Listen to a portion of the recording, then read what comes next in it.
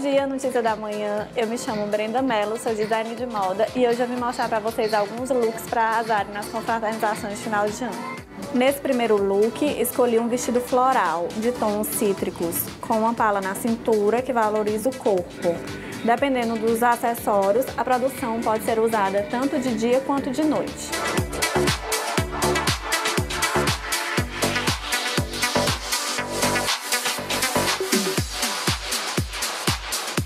Entrando no clima do Guipi, trazemos o decote na parte da frente e na parte de trás, o que torna esse modelo diferencial.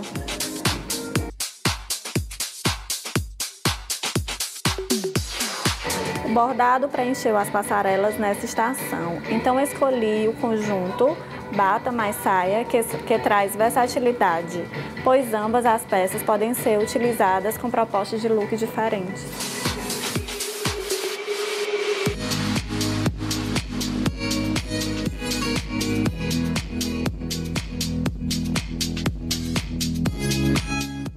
Por último, escolhi esse preto, nada básico. O especial desse vestido é o babado, que é super tendência nessa estação, além do guipi, que enriquece o look.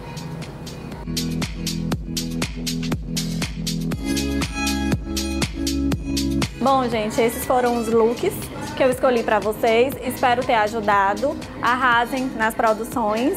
Beijos e boas festas. Até a próxima.